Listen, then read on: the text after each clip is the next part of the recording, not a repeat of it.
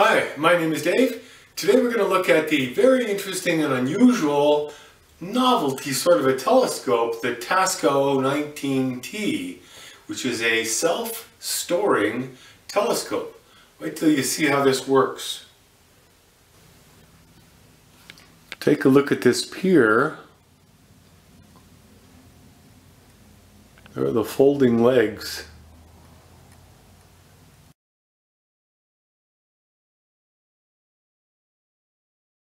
Uh, see how this thing unpacks.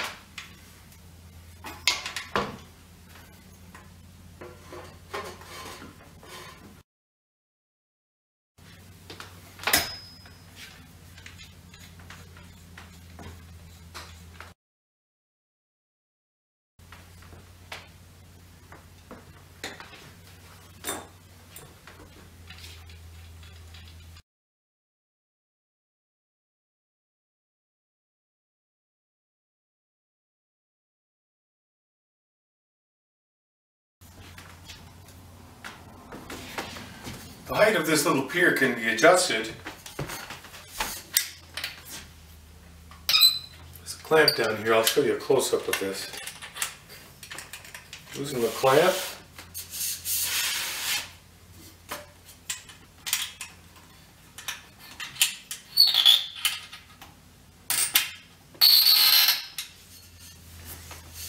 Now you've got it at a little bit uh, higher elevation, may be a little more convenient.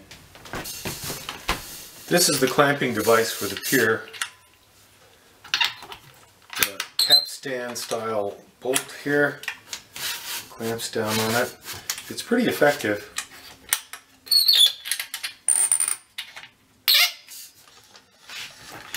Give you a little better look from that side.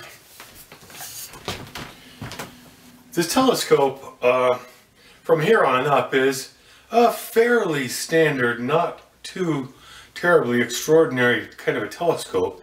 Uh, it does have slow motion controls in both altitude and azimuth. It is an Altaz telescope, it's not equatorial. And it's a, a little strange there, but uh, here's how it operates. You've got a lock here for altitude, and then you've got a slow motion altitude. Your lock here for azimuth, and then here's your slow motion for azimuth. Now both of those are limited. They're just a little gear sector here, which is fine. It's not very difficult to use a telescope like that. Um, so uh, in that respect, nothing particularly fancy about it. Nothing particularly strange, interesting, or unusual.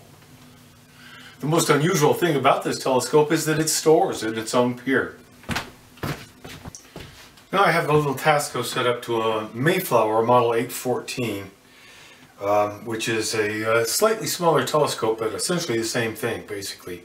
And you can see that the mounts uh, will operate in the same way. Matter of fact, they look like they came from the same factory, really. Um,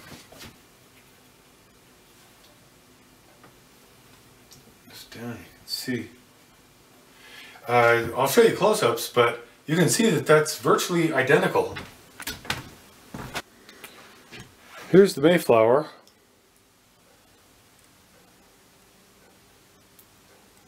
And here's the Tasco.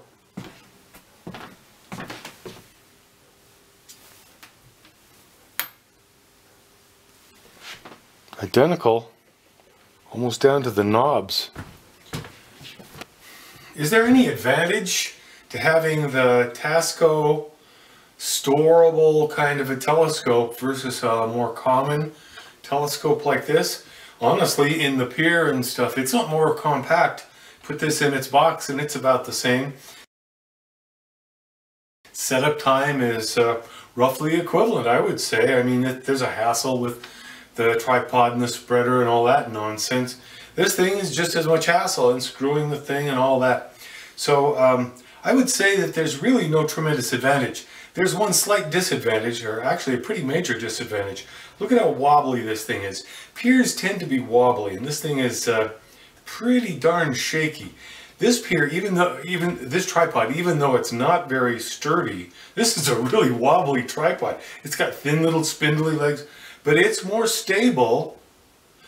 Uh, I think as you can see, it's more stable. It just doesn't have, this thing has a very long moment arm, so it can shake around quite a bit. So there is a slight advantage to these.